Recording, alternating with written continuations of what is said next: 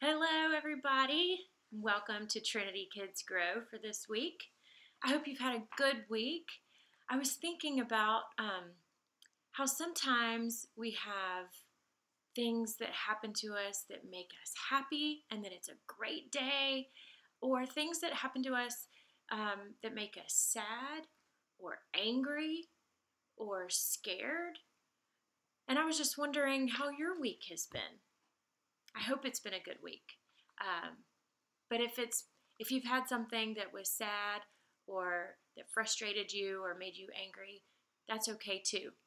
Um, it's okay to have those feelings, um, but we don't want to stay that way all the time, right? So just know that whether you're happy or you've had a sad day, that that's okay, and you can just be that way and um, and talk to people in your life about it, or you could talk to God about it because He understands.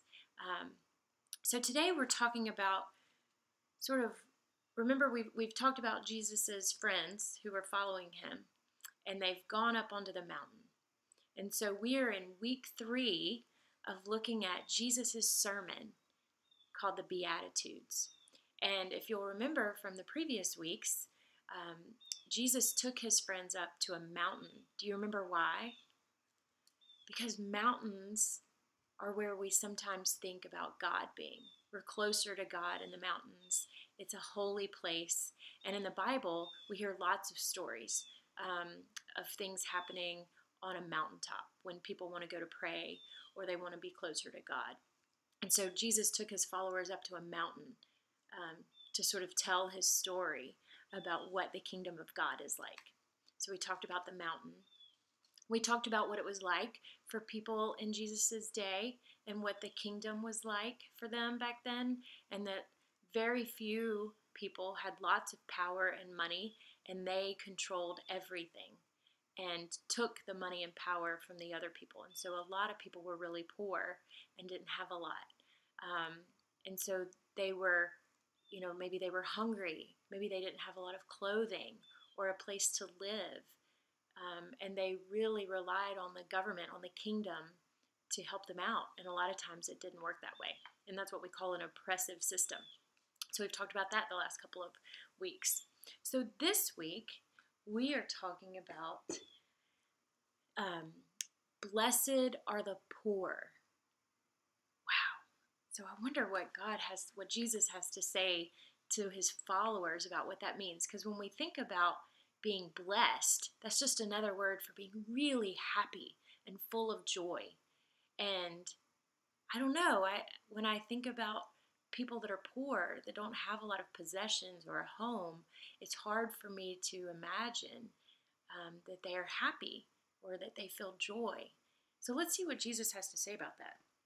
So remember, we're we're learning our um, we're hearing this message from the Gospel of Matthew, and in Matthew chapter five, Jesus says, "Blessed are the poor in spirit." for theirs is the kingdom of heaven. So when you hear the word poor, what do you think of? So, like I said, we often think of people not having enough money to buy food or clothing or have a house. So, Jesus saw how the wealthy people in charge in the government demanded lots of taxes from, from everybody that lived there. And so um, they used that tax money to build even bigger castles or provide themselves with fancier clothes um, and lavish possessions. But the people were already struggling to provide for their own families, much less give extra money to the king. And so, if they could not pay their taxes, the government would take away what they did have. So they would take away what little they did own, their land or their cattle. And in turn, that took away their honor. So many people in Jesus' time who were poor like this um, weren't just poor in money and clothing and, and possessions, but they were poor in spirit, which means they were really sad and worried that things might not get better. And so they felt trapped. And their biggest fear was that tomorrow would be just like today, and the next day, and it wouldn't get any better for them. They didn't feel blessed, right? So Jesus tells them in this story, in this Sermon on the Mountain, that blessed are the poor. What? So Jesus just turned their world upside down and he says, Heaven and the kingdom of God belong to people who are poor in spirit, like they were. They are the blessed ones and the happy ones in the kingdom of God. So when it feels like the rich, the ones who seem to have it all and know it all, have all of the power, Jesus says that true honor and belonging and power in God's kingdom belong to the poor. So we can live this out now. So I want you to make a fist. We think a fist is a sign of fighting, right? Of power, of strength. But when our fists are closed, you can't receive anything new. How do you have to receive a present if somebody gives you a present? To open your hands, right? So, Jesus' idea is that when we open our hands, this is a physical way to remind you that we depend on God and that we must be open to receiving and learning and growing and changing. So, think about that, right?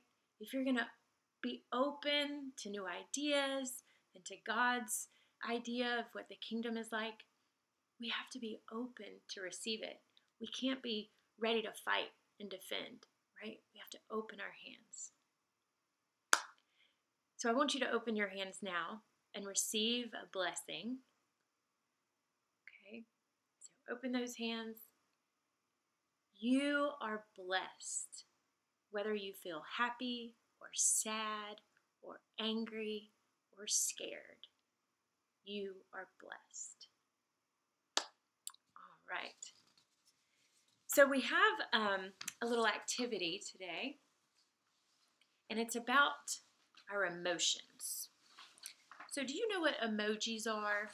I'm sure you do, right? It's like happy face. I've drawn some here. So happy. What do you think this one is? Angry.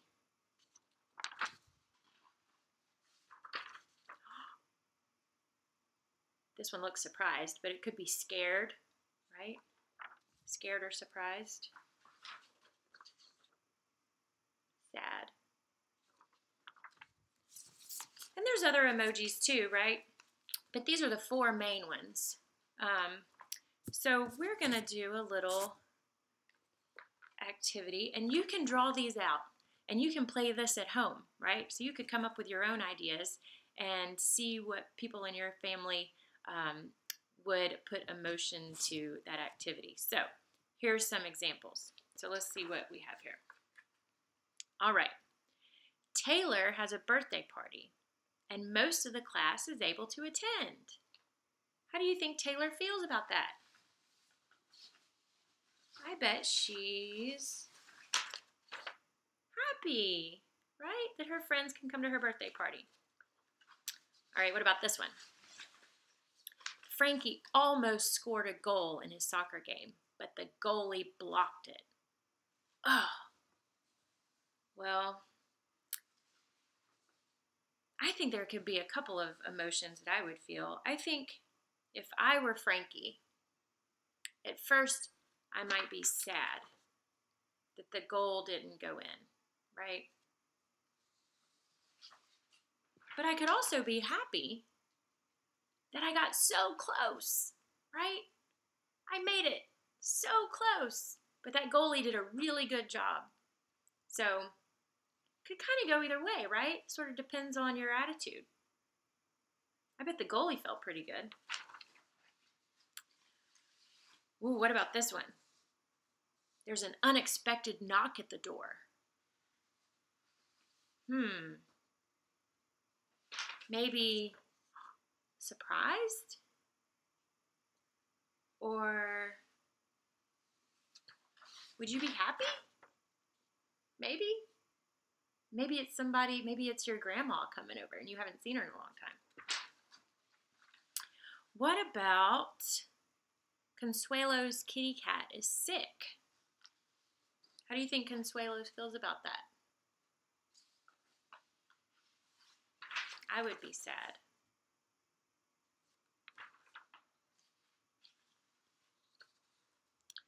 What about how would your parents feel if they didn't know where you were? Let's say you decided to go on a bike ride, but you didn't tell anybody. How do you think your parents might feel? Well, I'm a mom, and I know that this has happened to me before. And at first, I'm kind of scared. I'm a little worried. And then, once I find my kids and I know they're safe, I might be a little angry.